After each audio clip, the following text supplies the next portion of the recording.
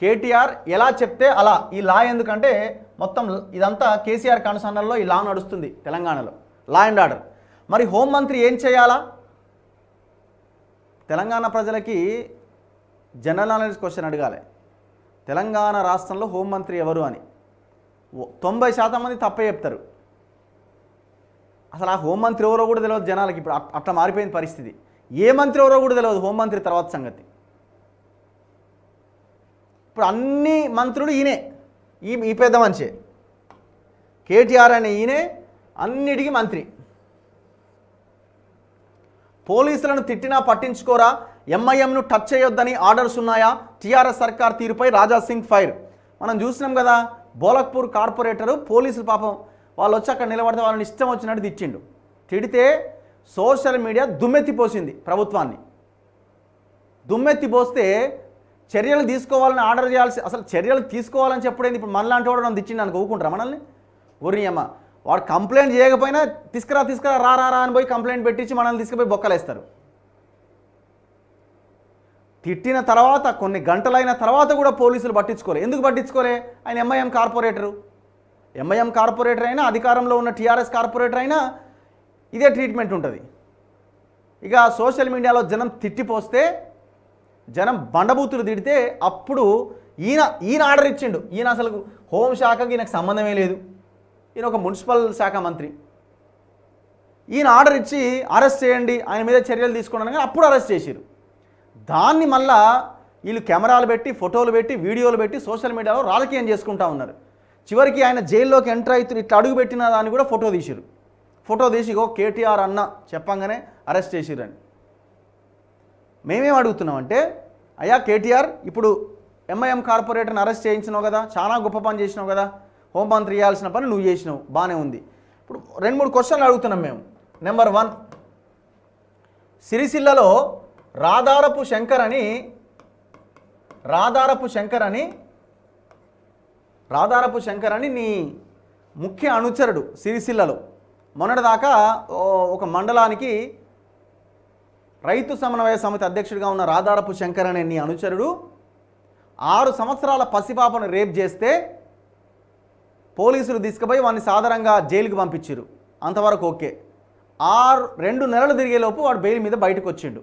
కానీ ఇంతవరకు పోలీసులు పై కోర్టుకు అప్పీల్కి వెళ్ళలే బెయిల్ రద్దు చేయమని. ప్రూవ్ అయింది. ఆ పసిపాపని రేప్ చేసిండని. జర్ర. గీ గీదాన్ని కూడా జర ఇనిషియేట్ తీసుకో. ఈ దాన్ని కూడా ఇనిషియేట్ తీసుకొని పోలీసులకు చెప్పు జర.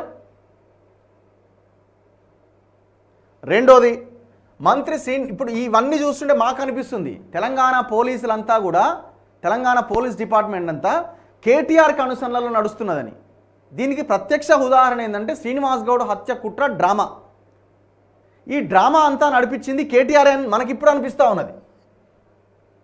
లేకపోతే అరెస్ట్ అయ్యి రిమాండ్ చేసే రెండు గంటల ముందు ముందు వరకు అసలు అరెస్ట్ అంశమే లేని అం- దాంట్లో ఆల్ ఆఫ్ సడన్గా మంత్రి హత్య కుట్ర డ్రామాని క్రియేషన్ జరిగిందంటే నీ పనితనమైన మనకు క్లియర్గా అర్థమవుతున్నది.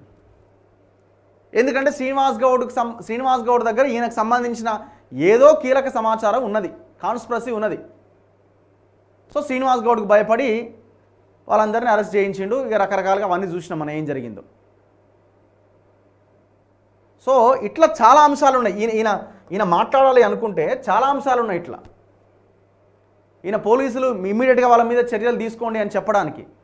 చెప్పు ఫినిక్స్ అనే కంపెనీ ఫినిక్స్ అనే కంపెనీ ఈ తెలంగాణ ప్రజల తెలంగాణ ప్రజల యొక్క జాతి సంపదని వేల కోట్ల సంపదని దొబ్బి దోసుకదింటా ఉన్నది.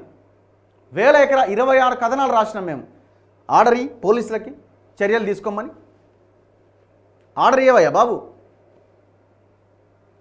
ఇట్లా మేము ఒక పది పదిహేను రాస్తాం మేము. మరి అన్నింటి మీద ఎందుకు రెస్పాండ్ కావు? అంతెందుకు? నాలుగోది షకీల్ షకీల్ కొడుకు ఇద్దరు ఫ్రెండ్స్తో కలిసి ఒక రెండు నెలల పసిబాబని చంపేసిరండి రెండు నెలల పసిగుడ్డుని చంపారు ఏం చేసిరండి కనీసం ఆ ఎమ్మెల్యే షకీల్ కొడుకుని సాక్షిగానైనా విచారించలే. ఓ సీసీ ఫుటేజ్ చూపించమంటే సీసీ ఫుటేజ్ సీసీ ఫుటేజ్ చేయడం రికార్డ్ కాలేదన్నారు. రెండు రోజుల తర్వాత ఆ కొడుకు కూడా అలానే ఉన్నాడు కానీ ఆయన వెనక సీట్లో కూర్చున్నాడు ఆయనకేం సంబంధం లేదని చెప్పారు చివరికి వాళ్ళందరినీ స్టేషన్ బెయిల్ ఇచ్చి పంపించారు జర ఆ కేసు విచారణలో వాళ్ళందరిని అరెస్ట్ చేయమని చెప్పు. రెండు నెలల పసిగుడుని చంపిరయ్యా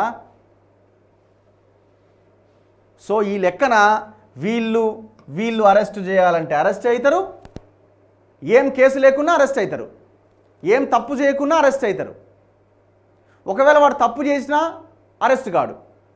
ప్రజలు సోషల్ మీడియాలో తిట్టి అది రాజకీయంగా మనకి ఇబ్బంది అవుతున్నప్పుడే చెయ్యి అరెస్ట్ చేయాలంటే అప్పుడు మళ్ళీ అరెస్ట్ చేస్తారు. ఇది పరిస్థితి తెలంగాణలో. ఇది లా అండ్ ఆర్డర్